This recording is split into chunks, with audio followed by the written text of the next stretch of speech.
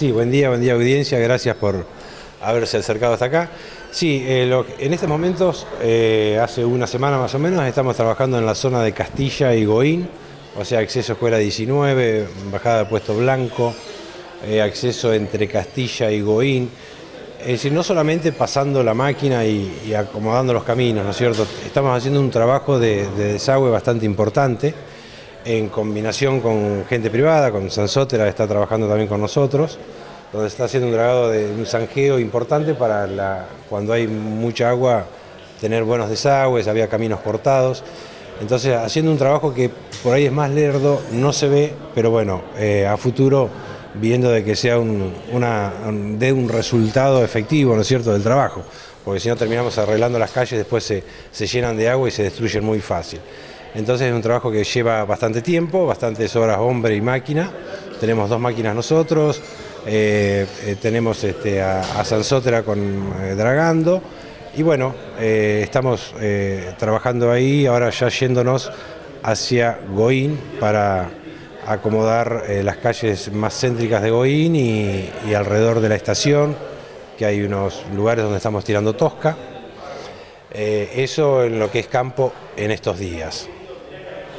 También aquí en, la ciudad, en el centro y, zonas eh, de la periferia se ve el trabajo de mm, rellenado de pozos, en este caso con tosca o con otro tipo de, material de, tierra. ¿Se prevé también respaldado? Es decir, donde estamos tirando Tosca, eh, anda una cuadrilla que es privada, que está trabajando con nosotros hace un año y pico, eh, donde estamos tirando Tosca porque son calles que las, tengo pendientes desde noviembre del año pasado a hacer asfalto nuevo. Llámese calle Chacabuco, eh, entre Mitre y Paso, Moreno, hay varias cuadras sueltas que tengo por hacer nuevas. Más cerca del CEF. Exactamente, eh, hacia el CEF y hacia la derecha también, sobre la REA. Esas calles las tengo que hacer nuevas, por eso las estamos tapando a veces o con tosca o con piedra, porque estoy esperando que un momento a otro me vengan a hacer el asfalto, no quiero hacer un gasto importante. Esa misma cuadrilla la que está haciendo bacheo, haciendo el bacheo chico de, asfalto negro, cuando empiezan a aparecer los pocitos, empezar a taparlos para no tener el trabajo que tuvimos el año pasado, que teníamos que romper de fajas de 2 metros por, por 10 para poder recuperar el asfalto negro. Esa misma gente es la que está siendo tomado de junta en la entrada de 16 de julio, que va a ser entrada de 16 de julio, y prolongación de Avenida Mitre, que es lo que nos faltaba después de haber acomodado la, parte de concreto que estaba rota, que estuvimos haciendo, para que quede realmente bien y no, no filtre más agua. O sea, haciendo tal vez un trabajo un poco más lento, como nos pasa con el campo, pero una cosa pensándolo en futuro para que nos dé tiempo a que quede todo arreglado en buenas condiciones y no tengamos que volver sobre el tema eh, muy pronto, ¿no es cierto? Esa, es otra cuadrilla que está haciendo eso, hace lomos de burro, eh, de los cuales pido disculpas a los vecinos que no puedo cumplir con todos a veces. Es decir, tenemos que tener en cuenta que entre el año pasado y este se han hecho arriba de 200 cuadras de tosca. La tosca es espectacular para el invierno porque ningún vecino queda sin salir de su casa.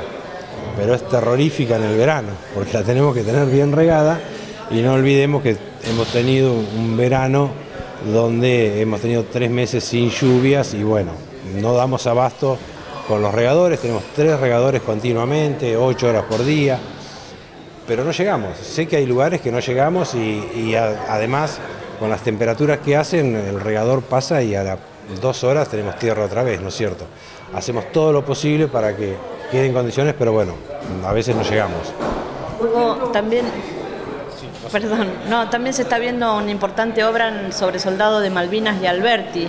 Eh, si nos puede contar un poquito de qué se trata. Sí, Soldado de Malvinas y Alberti es una obra, una licitación que se hizo de cloacas. Hay varios tramos em, por hacer. Eh, uno es ese, comenzamos ahí detrás del Sportman.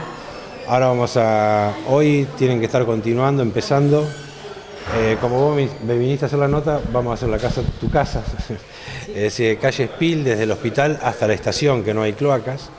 Y bueno, y así tengo, no tengo ahora en mente las calles que son, pero varios lugares.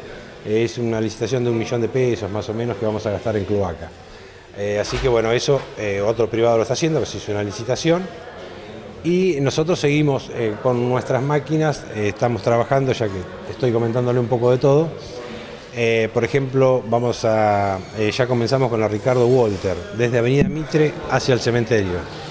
Eh, esa calle se va a levantar, se está levantando y se pone tosca y piedra.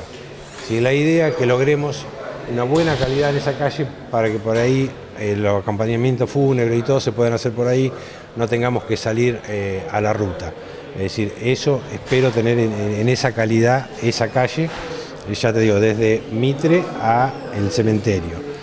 También estamos trabajando en lo que es desde la puerta del balneario hacia la puerta de la entrada del sector norte, donde se está haciendo la pista de karting. Ahí la misma gente que está trabajando en la pista consiguió algo del fresado de la ruta, o sea, se va a poner en ese pedazo hasta el puente y desde el puente hasta la entrada.